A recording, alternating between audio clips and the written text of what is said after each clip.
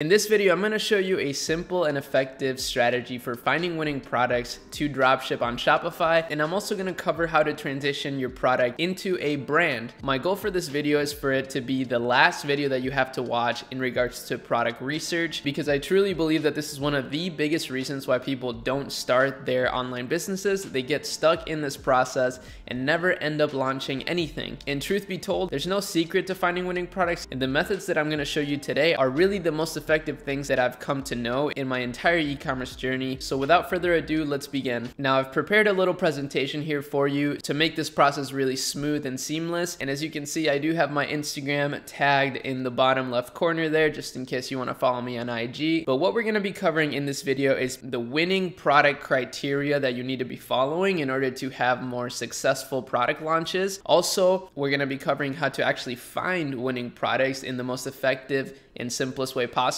And lastly, as I mentioned, I'm going to be covering how to actually build a brand with the products that you're testing and advertising because building a brand is very important. Similar to buying a house, building a brand is an asset that only gains value as it grows. And now more than ever before, there is investors and just big companies trying to buy smaller e-commerce brands. And we've seen so many examples of brands getting acquired for hundreds of millions of dollars that started their online stores just like you and I. So of course, the first thing that we need to talk about is simply what the winning product criteria is. If you've never actually had a successful product that you've advertised on Facebook or Google or wherever, then it's probably gonna be tough for you to figure out sort of what a winning product looks like. So I prepared here a sort of small checklist or criteria that you can use every time you look at a potential product. Now, I will warn you, after watching this video, it'll probably change your perspective on commerce in general. After getting into e-commerce, now every time I go to any store, I have this sort of criteria in mind. It's kind of a habit that you'll probably develop too. But with that being said, the first criteria that you, your product needs to meet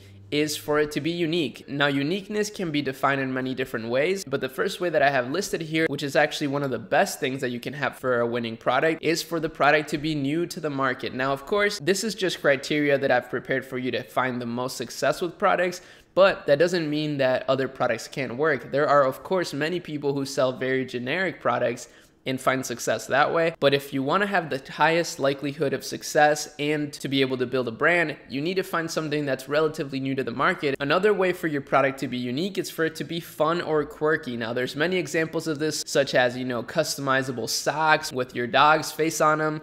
We've all seen these sorts of products. You know, these don't necessarily solve any problems, but they're really funny and, you know, they're very shareable. So those are also really unique products that could be potential winners. And then, of course, the last thing when it comes to uniqueness is for your product to not be easily found in stores. I recently made a video about a multi-million dollar sock brand and I used the example that, you know, it's really difficult to actually build a brand around that niche because socks are so easily found. And I do stand by that statement. I believe that, you know, the more easily your product is found in stores, the harder it is for you to be able to sell it online and advertise it online. And of course, as Facebook ads continue to rise in cost, that's not gonna make it any easier. So that's always something to keep in mind. Make sure that your products are unique and that they cannot be found in stores. Now, the next set of criteria is for your product to be high in demand. Now, there's many ways for you to figure out how high the demand for your product is, but the main way to approach this is to see if your product solves any particular problem. And the bigger the problem is, the higher the demand for your product is gonna be. I think Elon Musk has a quote in regards to this,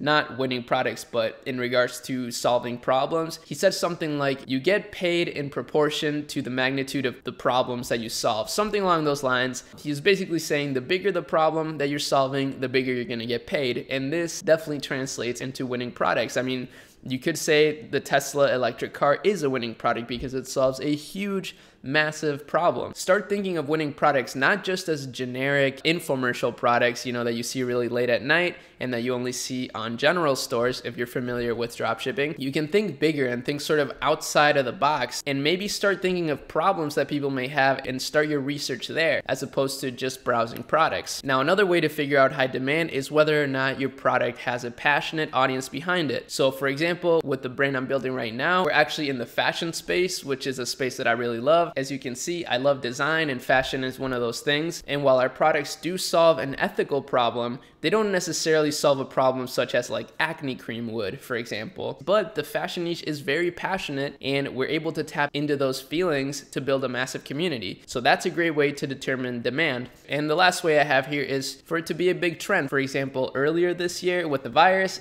it was easy to spot the trend, right? Masks were a big thing and they still continue to be a, big thing. So that is a big trend and you know that there's gonna be a lot of demand behind it. And the last winning product criteria that I wanna leave you with is real value. Now, I hear so many people talking about high perceived value as a criteria. And of course, I would agree that high perceived value definitely helps with having higher margins, but I urge you to look for real value as opposed to just perceived value. And the reason I say that is because I want you all to build tangible brands that actually provide value for the world. I don't believe it's ethical to mark up a price just so that you can fit in your marketing costs if the product doesn't actually have any value. That's not how you build a respectable brand with happy customers, and it's not sustainable by any means. If you're not looking for real value, chances are your product is just gonna end up in the garbage polluting the world and not helping anyone. And obviously, I'm not the police here. I, I, can't really tell you what to do, but I urge you to try to do things ethically because, you know, we all got to do our part. And trust me, it feels much better to run a real value business as opposed to fake value. The last thing I want to say on real value is that if you're the type of person who doesn't really care about these things and you're willing to run a business unethically, then you shouldn't get mad at fake gurus that scam people because at the end of the day, you're not much better than them. you're kind of doing the same thing except you're hiding behind your screen as opposed to them showing their face. So yeah, I'm not trying to come at any of you. Obviously, I love all you guys and I love the community that we built here, but I just really want to set a high standard. And of course, I want to lead by example and show you good principles of business as opposed to just sketchy business. But I digress. Let's continue here. Now, how to find winners. This is where we're to get pretty interesting. I actually want to show you a really amazing product research method that I only found in the last, you know, five or six months, and I don't hear many people talking about it. But first, I want to let you know that the biggest industry secret when it comes to finding winning products or even just succeeding online is that there is no secret. And I know that might be tough to hear for a lot of you because most people are looking for shortcuts, but unfortunately, there is no secret. Finding products is actually pretty easy. There's products everywhere, right? And as I just mentioned, even when you go to the store, I'm sure you can get a lot of product ideas. The hard part is actually choosing which product to pursue because there are so many available products that it's really hard to just stick to one. And that's where the winning product criteria will hopefully help you determine which product is the right product to pursue. Now, the simplest way, honestly, to find winning products is just to go on AliExpress and use the free dropshipping center that AliExpress provides. I've actually covered this in a recent video that I will link in the description in case you want to check it out. But briefly, I do want to show you how this works. So you basically just go on your AliExpress account and then there is a section titled Dropshipping Center. This is free to use, so you don't have to pay to, to use this at all. And what you can do is look at products right here that are trending on AliExpress. So something like this, for example, has a ton of orders and it has a great rating, so it has real value and has a lot of demand, as you can see by the orders. Now, of course, the more orders that something has, the less new it is to the market. So it is a possibility that you're actually selling something sort of at the end of its trend. Every product has a cycle,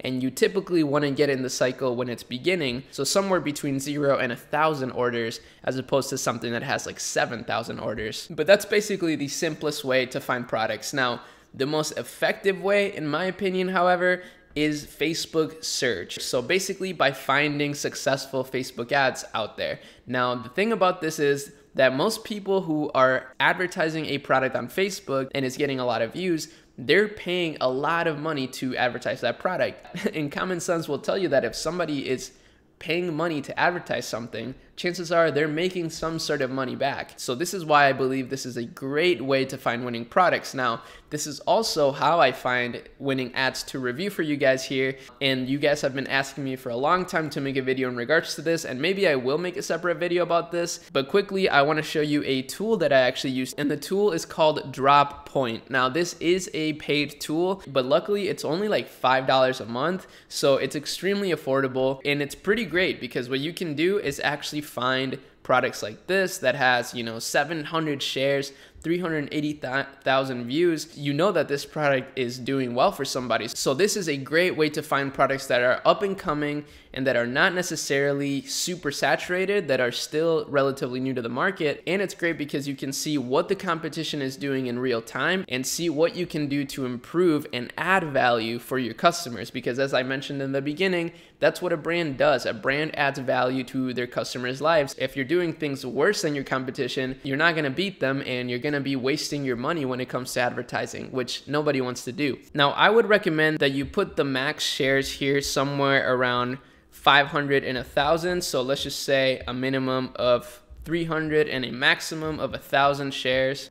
And here it'll show us a lot of products that, that are proven to be selling, but are still not extremely saturated like a lot of other products might be. Now, as I mentioned, that's in my opinion the most effective way to find winning products. This is actually how I found the products that sort of gave me the idea for the brand that I'm building right now. And I think most people would agree. I'm really curious if you've had a winning product before. Let me know how you actually found it. I'm pretty sure that this is how most people find success with finding winning products. So I'm really curious to see what you think. So let me know in the comments. I read everything and I would love to see what you think. Now, lastly, what I want to talk about is actually building a brand with these products because as I just mentioned, I don't find it to be super sustainable to just ship stuff from AliExpress because really what you're doing is profiting off of people's negligence of the existence of AliExpress as they could easily just shop for that product on AliExpress. So in order to work around that, you need to be putting yourself in a brand building mentality. Now, building a brand around a winning product really works best with products that are new to the market or that have a big passion niche behind them, as I mentioned in the product research criteria, and this is why I use this as criteria for winning products because really, if you're trying to build a brand around a product that's been sold by hundreds and thousands of other drop shippers, chances are it's probably at the end of its cycle and it's not going to be worth to pursue. You actually might end up losing a lot of money investing in stock and branding it. So make sure that you find something that is ideally new to the market and that is not being drop shipped by other people so that you can actually build authority around them. So by branding and building authority around your product, you're actually going to be able to beat Amazon and eBay. So I get that question a lot is Arie, why would people shop on my store if my product is easily found on Amazon or eBay? Well, this is why. If you actually build authority around your product and you build a brand behind it, people will want to shop in your store as opposed to Amazon because of the experience and the community that you're building. And we really can't keep ignoring Amazon as they keep exponentially growing. I mean, I'm a shareholder on in Amazon. I truly believe that they're going to continue to be like the biggest company this world has ever seen. So I don't think it's smart to continue to ignore them. You have to think of ways to actually beat them. They're part of the competition as well, and they're probably the biggest competition that you have. So make sure that you're building authority around your product. And of course, that also means stepping away from AliExpress and shipping your products with sourcing agents. I've actually made a video on this in the past, so I will link that in the description, but let me know if you want me to make another detailed video on how sourcing agents work and how you can actually work with them. I also do provide multiple sourcing agents that I've worked with in the past to my Netsphere community members. If you don't know what Netsphere is, it's actually my paid course and community. It's only $29 a month, so that's less than a dollar a day. And you get access to not only all the content that I've made for it, but also the resources as I've just stated, and access to our private community in which I actually do live Q&As every week where we basically just chat with the community and solve community problems in real time. It's actually really cool and really fun. So if you're interested in joining, make sure you check out the link in the description. I would love to have you be a part of the community. But really, the best way for you to be able to build a brand is to study brand designs, study other brands, and most importantly, to focus on your customers' happiness and on building a community. This is what building a brand is all about building a community of passionate people that just absolutely love your brand and share it with their family and friends. This is how great brands are built. So make sure that you're not ignoring your customers ever. If it wasn't for them, your store wouldn't make any money. So it's really important for you to actually take care of them if you're trying to build a brand in general, but especially if you're trying to build a long term brand. I do want to make a more detailed video on building a brand, so let me know in the description again if you want me to make something like that. That, I would be glad to do it. But that basically wraps up this video. I know it got kind of long, but I try to make it as simple and easy to understand as possible. That's sort of my philosophy when it comes to learning. I think if it's not fun and it's not easy to digest, it's ineffective. So I hope I earned your thumbs up on this video today. That always helps the YouTube algorithm. Make sure you follow me on Instagram. I do post a lot on there. And lastly, make sure you share your thoughts below.